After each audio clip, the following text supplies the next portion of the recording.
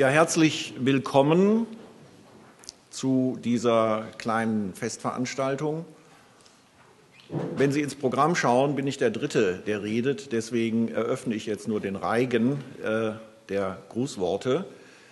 Als erstes äh, Begrüßungswort und Grußwort äh, Frau Dr. Kreuz-Geers vom Ministerium, dann Herr Kremers und dann schleiche ich mich selbst noch mal ans Pult. Bitte schön.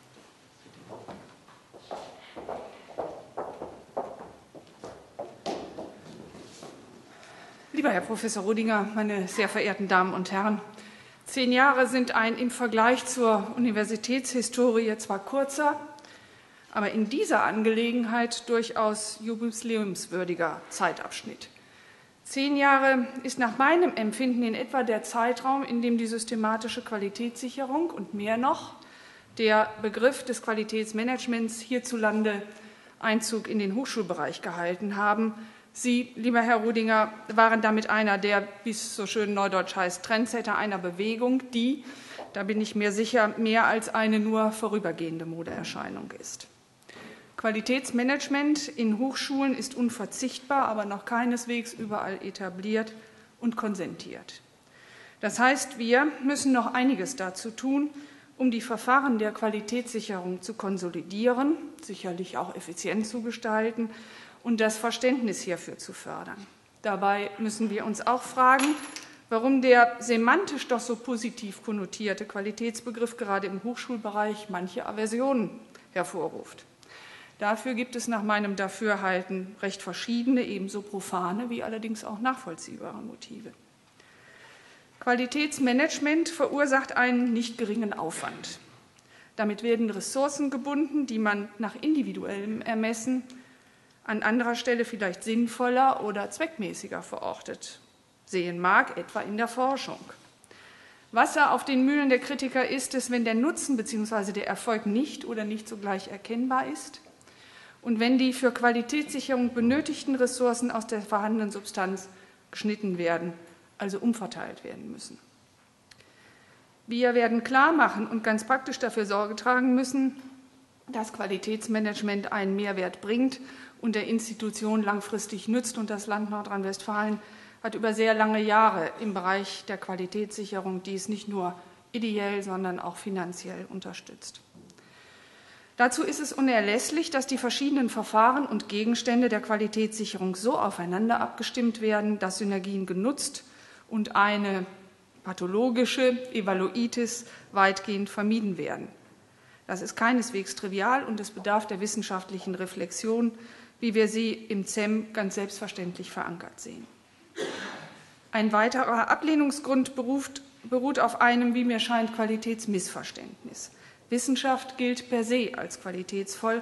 Schließlich sorgt sie dafür, dass wissenschaftliche Wahrheiten von Unwahrheiten geschieden und damit neue wissenschaftliche Erkenntnisse hervorgebracht werden. Aus diesem Grund mag man meinen, brauche es auch keine Qualitätssicherung im Wissenschaftssystem, jedenfalls im engeren Sinne. Sie ist immanent darin angelegt, auch wenn gewisse Mangelzustände nie ganz auszuschließen sind. Denken Sie nur, und hier zitiere ich einmal Luhmann, an die, Zitat, durch keinen Misserfolg zu entmutigende Prognosetätigkeit der Wirtschaftswissenschaften. Ich kann das sagen, weil ich gehöre zur Profession. Nicht selten werden ja auch bahnbrechende wissenschaftliche Erkenntnisse vom vorherrschenden Paradigma unterdrückt, bis sie am Ende einen Paradigmenwechsel herbeiführen und einer neuen Qualität des Wissens zum Durchbruch verhelfen. Aus dieser Systemeigenschaft von Wissenschaft wird nun auf Hochschulen als institutionellen Träger von Wissenschaft kurzgeschlossen. Alles, was Hochschulen tun, kann man unterstellen, sei per se qualitätsvoll. Sie, meine Damen und Herren, sind sicherlich mit mir der Auffassung, sonst wären Sie nicht hier, dass das von vornherein und a priori nicht der Fall ist. Wissenschaft kann im Wege der Selbstauseinandersetzung nur für die Qualität wissenschaftlicher Aussagen bürgen, aber nicht zwangsläufig für die Qualität der Strukturen und Prozesse von Organisationssystemen wie Hochschulen. Es ist nun nicht ausgeschlossen, dass selbst an einer schlecht gemanagten Hochschule mitunter sehr gute Wissenschaft betrieben wird. Andererseits kann und sollte ein Qualitätsmanagement neben vielen anderen Adressaten und Sachverhalten auch positive Auswirkungen auf die Wissenschaft haben. Dieser Aspekt gewinnt mit der Organ organisationalen, mein Gott, Verdichtung von Forschung immer mehr an Bedeutung. Organisationale äh, Verdichtung, wie wir sie beispielsweise über die Exzellenzinitiative sehen, den großen Drang und sozusagen das Qualitätskriterium der Vernetzung über Institutionen mit institutionellen Grenzen und geografischen Verortungen hinweg. Immer mehr Forschung findet in diesen Verbünden statt und setzt die Allokation entsprechender Ressourcen und die Sicherung eigenen effizienten Supports voraus. Dabei geht es um Leistungsprozesse des Organisationssystems Hochschule und nicht nur des Wissenschaftssystems als Ganzen. Je effizienter und je effektiver diese organisiert sind, desto mehr kann sich die eigentliche Wissensproduktion davon Nutzen ziehen und profitieren.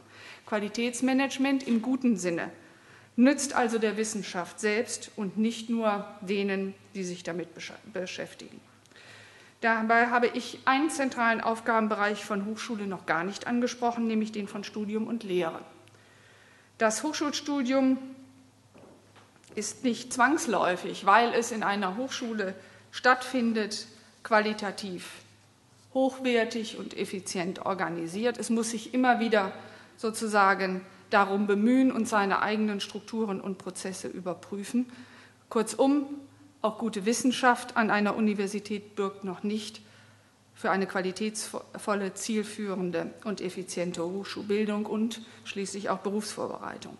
Studium und Lehre liegen vielmehr komplexe organisatorische, konzeptionelle und didaktische Arrangements zugrunde und deren Erfolg ist nicht selbstverständlich. Ich habe allerdings den Eindruck, dass ähm, das Wissen darum und die Bereitschaft, sich dieser Herausforderung zu stellen, in den letzten Jahren enorm angewachsen ist und habe eigentlich wenig die Sorge, dass aus, der, aus dem sich kümmern um die Exzellenz in der Forschung eine Vernachlässigung der Lehre folgt.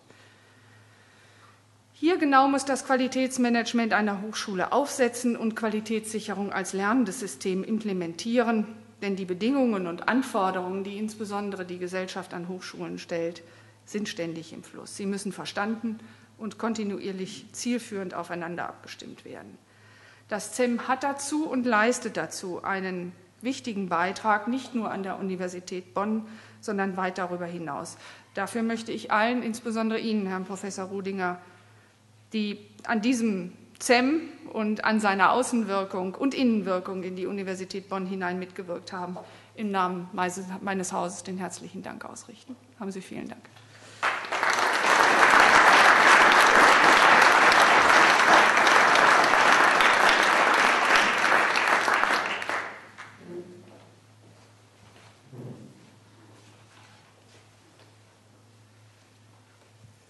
Sehr geehrte Frau Dr. Kreuz-Gers, lieber Herr Kollege Rudinger, verehrter Herr Präsident Ine, liebe Rektoratskollegen, meine Damen und Herren, es ist mir eine außerordentliche Freude, Sie hier im Namen der Rheinischen Friedrich-Wilhelms-Universität Bonn zu unserem kleinen Jubiläum zehn Jahre ZEM herzlich begrüßen zu dürfen. Das Jahr 2009 ist ja nun vor unser aller Augen und in unser aller Ohren ein deutsches Jubiläumsjahr, 60 Jahre Bundesrepublik, 20 Jahre Mauerfall, übrigens auch 20 Jahre Uniclub. Das Richtfest war im Oktober 1989, genau gesagt, und passenderweise eben auch dieses kleine Jubiläum, ähm, das wir heute begehen. Natürlich wird man es nicht in die Reihe Gründung der Bundesrepublik, Herr Rudinger, und Mauerfall äh, stellen können. Aber ich denke, es gibt beim zehnjährigen ZEM-Jubiläum ausreichend Grund zum Feiern und nicht zu vergessen auch ausreichend Grund für ein wenig Stolz auf das Geleistete. Erlauben Sie mir daher, dass ich den Dank, der sonst oftmals am Ende von Großworten steht, wie äh, Ihr Dank an Herrn Rodinger aus Sicht und in Adresse Ihres Hauses, dass ich diesen Dank jetzt an den Anfang ziehe und den Mitarbeiterinnen und Mitarbeitern des ZEM äh, diesen eben auch ausspreche im Namen des Rektorats. Also im Namen der gesamten Hochschule eigentlich herzlichen Dank und eben solche Glückwünsche und für Ihre wertvolle Arbeit auch in Zukunft alles Gute. Allen voran natürlich Herrn Kollegen Rodinger, dessen Name schon fast synonym mit dem des äh, ZEM steht. Als ehemaliger Kohabitant oder als ehemalige Kohabitanten Herr Rodinger der Römerstraße 164 unseres AVZ 3 sind wir uns natürlich häufiger über den Weg gelaufen. Wir waren gemeinsam längere Jahre, also über vier Jahre, vier, über viereinhalb Jahre hinaus äh, Dekane. Bei Ihnen war es eine noch längere Amtszeit als bei mir. Äh, wir haben uns auch fachlich und persönlich ein wenig kennengelernt. Also mein Interesse an der Psychologie äh, sei ja mal einfach auch verbunden mit dem Fach, das ich vertrete, der Informatik oder der künstlichen Intelligenz. Als Laie, ja, der also so gerade einmal den Örter Montada kennt in der Entwicklungspsychologie, fällt es schon auf. Also, dass wir hier einen sehr anerkannten Kollegen aus der Psychologie in unseren Reihen wissen. Ja, und das ist, macht ja stolz, wenn man ein solch solches Standardwerk, das in der zigfachen Auflage erschienen ist, wie eben Arthur Montada, die Psychologinnen und Psychologen hier äh, kennen den natürlich, wenn man da als, ich weiß nicht, Kapitel 44 dann eben auch etwas aus quantitativen Methoden, empirischen Methoden äh, von Herrn Rodinger liest, der dieses äh, besagte Kapitel geschrieben hat, Thema Strukturgleichungsmodelle. Also jetzt mal ein, ein fachliches Wort sei mir erlaubt an dieser Stelle. Das ist ein Thema, das Herrn Rodinger schon sehr lange beschäftigt hat und für das er also hohe Anerkennung genießt, das also auch einen festen Bestandteil des Faches empirische Methoden in der Psychologie, gefürchteter Teil des Psychologiestudiums und wichtige Eingangsschwelle in dasselbe darstellt, gemeinsam mit den Panelmodellen, die Sie sehr beschäftigt haben. Und also solche Stichworte wie Re Reliabilität und Stabilität, die haben Ihnen ja schon lange lange umgetrieben. Und das sind auch, wenn man sich mit Längsschnittstudien, Longitudinal Research befasst, wie Herr Runinger dies tut, sind das die großen Herausforderungen an die empirischen Methoden. Wie kann ich denn überhaupt Längsschnitte machen in einer sich so rasant verändernden Welt? Ich habe doch ganz andere Anfangsbedingungen, als ich dann am Ende, wenn ich über Längsschnitte reden will, vorfinde. Wie nehme ich denn dieses Thema Change, und das beschäftigt ja auch den heutigen Kongress, wie nehme ich das denn eigentlich auf? Das sind also spannende Fragen.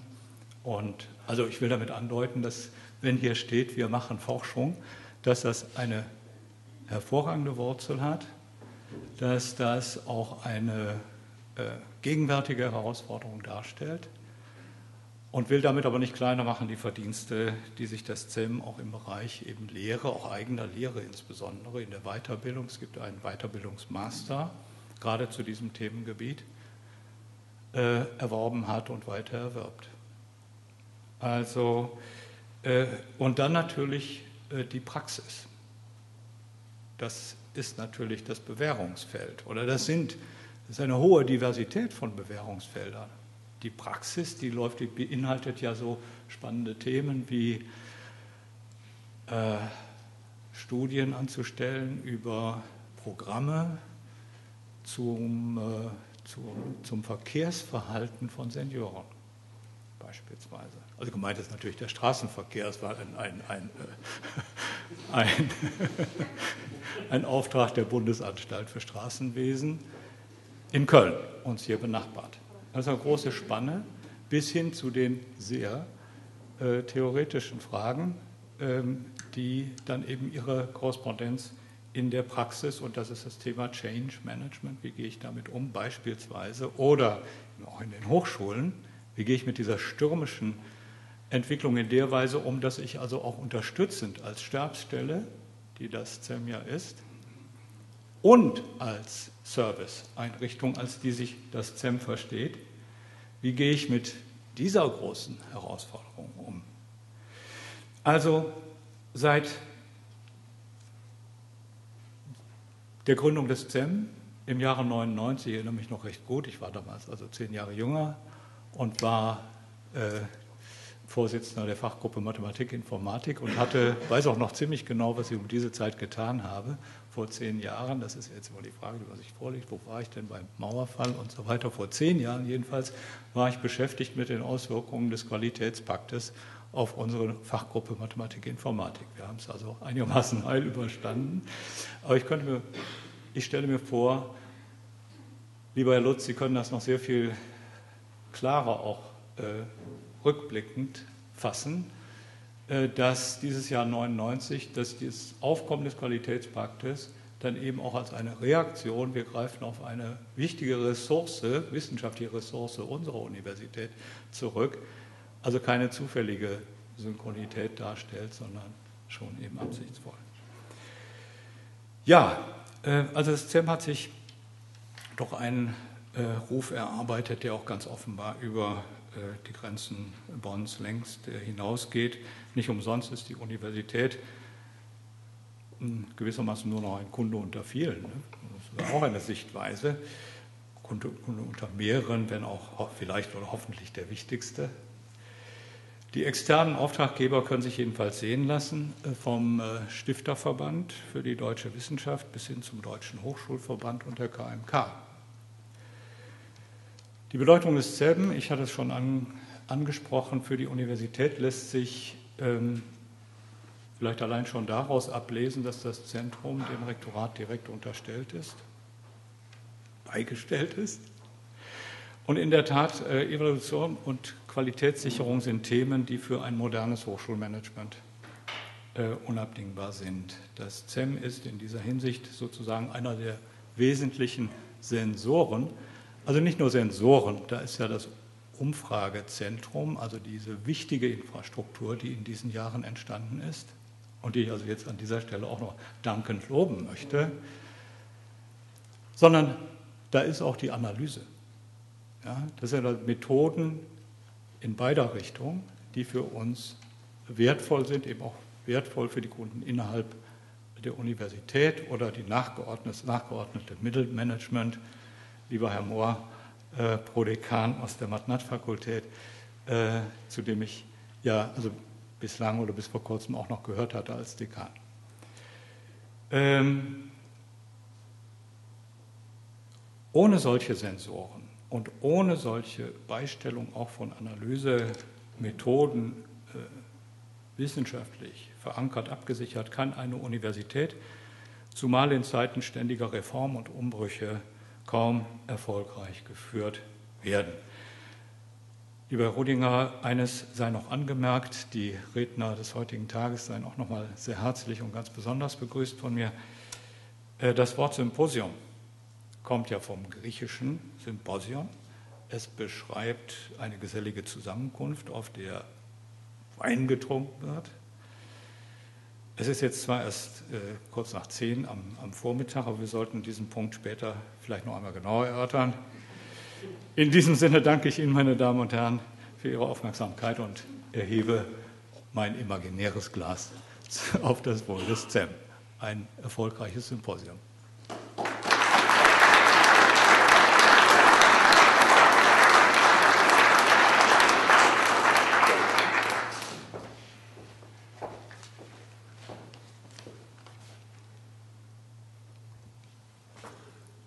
Eigentlich wollte ich als Dritter ja jetzt auch noch was sagen, aber das verschlägt mir ja fast die Worte, die Sprache.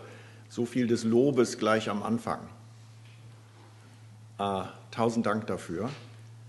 Verehrte liebe Frau Kreuz-Gers, noch einmal als Vertreterin äh, des Innovationsministeriums, sehr geehrte Mitglieder des Rektorates, also liebe Kollegen Kremers, tausend Dank. Äh, Gieselmann, Prorektor Gieselmann ist ja auch unter uns. Lieber Kanzler Dr. Lutz, werte Kolleginnen und Kollegen, liebe Freunde und Partner des CEM, einige sehen Sie auch an der von Herrn äh, Kremers ja schon erwähnten äh, Tafel. Äh, meine Damen und Herren und äh, liebe Zemmlinge, heute am ersten Tag nach der Eröffnung der diesjährigen Karnevalssession darf ich Sie ganz herzlich zum ZEM Jahre 10 Jubiläum begrüßen. Jetzt wird es also ernst. Der Slogan ZJ, ZJ zur Vermarktung für das heutige Ereignis. Äh, diesen Slogan konnte ich leider nicht etablieren, obwohl äh, vielleicht ja, weil ich mich dabei an äh, GZSZ, gute Zeiten, schlechte Zeiten, beziehungsweise DSDS, Deutschland sucht den Superstar, orientieren wollte. Sodass das also vielleicht zu wenig seriös war. Wie dem auch sei, zehn Jahre ZEM also, Zentrum für Evaluation und Methoden, Forschung und Beratung, äh, so der Titel eines Buches, Reklame muss sein. Dieses hier, was Sie draußen finden und wie der Rheinländer sagt, jetzt küdet, was Sie äh, als Geschenk und Erinnerung und natürlich auch zur Lektüre mitnehmen dürfen, solange der Vorrat reicht. Also dieses Buch Forschung und Beratung äh, sei für Sie äh, dort draußen mit Dank auch an den Verlag Vandenhoek und Ruprecht, der ja einen Stand hat, wo eben die Reihe Bonn University Press auch äh, zum Besten gegeben wird, äh, das so dort zur Verfügung gehalten wird. ZEM, Z für Zentrum, das ist ja noch okay, zumal Zentrum im Sinne des Mittelpunkts ja ein durchaus positiv konnotierter Begriff ist, in der Politik genauso, wie wir gehört haben, wie im Bonner Rektorat. ZEM, M für Methoden, ist sicher auch noch akzeptabel, mehr als das, wie wir gerade gelernt haben, sind es doch die entsprechenden Methoden, welche hehre Wissenschaft vom schnöden Alltagshandeln unterscheiden. Und sind es doch die je spezifischen Methoden, das heißt, die Nach- bzw. Vorgehensweisen, welche aus äh, perspektivischer, äh, perspektivischem Aspekt heraus zum Forschungsgegenstand die verschiedenen wissenschaftlichen Disziplinen gar konstituieren. ZEM, E für Evaluation, hm, musste das denn wirklich sein? Elektronisch wäre doch auch gegangen. Äh, ZEM Zentrum für elektronische Musik gibt es, äh, hat das ja so gemacht. Es gibt zu diesem E seit den zehn Jahren der Existenz des ZEM an dieser unserer Spitzenuniversität mit geschliffenen Argumenten sophistizierteste Diskussionen, wie zum Beispiel Evaluation haben wir schon gemacht, als Sie, gemeint das ZEM, vielleicht ja sogar ich persönlich, noch gar nicht wussten, äh, wie das geschrieben wird. So ein ansonsten und anderweitig eigentlich exzellenter Kollege, von dem ich bis dahin gar nicht wusste, dass er doch schon so alt ist, denn auch vor der Existenz des ZEM hatten wir schon 1969 im Auftrag eines Kultusministeriums evaluiert. Evaluation also, ein internationaler über das französische Evaluer, abschätzen, berechnen, und englische zu uns gelangter Begriff. Natürlich aus dem Lateinischen, valere, stark sein, gesund sein, kräftig sein, Einfluss, Macht, Bedeutung haben, zur Geltung gelangen, imstande sein, Vermögen auf etwas abzielen, nicht unwichtig bei Evaluation, letztendlich wert sein, vor allem bezüglich des Geldes und von Nutzen sein. Da haben wir es also wieder. Ein Student fragte Euklid den ersten Dekan des Fachbereichs Mathematik an der Universität zu Alexandria, was ihm denn die Mathematik nütze, die er lerne. Am Schluss der Vorlesung wandte sich Euklid seinem Sklaven zu, das sind heute wohl die Assistenten oder so, und äh, befahl, gib dem Jungen eine Münze, da er doch aus allem, was er lernt, Nutzen schlagen will. Der Student wurde so dann ausgeschlossen. So viel zum Paradigmenwechsel, was Evaluation und so weiter angeht. Ohne jetzt den Vorträgen vorgreifen zu wollen, Evaluation ist aber erst einmal die systematische Untersuchung und Analyse eines Gegenstandes im Hinblick auf Praxis. Dabei sollen natürlich durchaus Nutzen oder Wert des Gegenstands miterfasst werden. Die erzielten Ergebnisse Schlussfolgerungen oder Empfehlungen müssen, wie in jeder Wissenschaft, und ich betone hier bewusst Wissenschaft, nachvollziehbar, auf empirisch gewonnenen qualitativen bzw. quantitativen Daten bzw. empirisch prüfbaren Hypothesen über Wirkungsweise, Wirksamkeit und Wirkungszusammenhängen beruhen. Wenn man das so hört, könnte man natürlich kritisch einwenden, was auch getan wird, dass hier auf der Basis eines fast irrationalen Glaubens an einen von Menschen rational beeinflussbaren Fortschritt gearbeitet wird, wie dies im Utilitarismus Bantam und John Stuart Mill und Pragmatismus Dewey, James und Peirce gegeben scheint, den geistigen Wurzeln moderner Evaluation, by the way. Aber es war schon Aristoteles, der die empirische Nutzenbestimmung zur Bewertung und Überprüfung auch von Herrschaftsstrukturen und Staatsformen forderte. Also das Verteilen von Blättern, auf denen ein paar Fragen die Lehre ersetzen, zu denen die Lehre ersetzenden PowerPoint-Präsentationen oder zur Krawatte des Dozenten stehen, ist noch keine Evaluation. Es sei denn, man hält nach einem anarchischen Wissenschaftsverständnis, was man ja auch haben kann, zum Beispiel jeden, der sprechen kann, gleich für einen Sprachwissenschaftler oder jeden, der lesen kann, gleich für einen Literaturwissenschaftler. In diesem Sinne danke ich Ihnen für Ihre Geduld und Aufmerksamkeit, die Sie sogar meinen Erwägungen und Erörterungen geschenkt haben und hoffe, dass Sie nicht oder vielleicht ja doch mit Pythagoras gedacht haben, man sollte schweigen oder Dinge sagen, die noch besser sind als schweigen und überlasse in, paar, in ein paar Sekunden für Letzteres unseren vortragenden Gästen das Pult. Vorher aber dann doch noch ein paar kleine Bemerkungen, wie schon, wie ich finde, die beiden Grußworte zeigen und zeigten, über die man schon diskutieren könnte, vielleicht sogar müsste.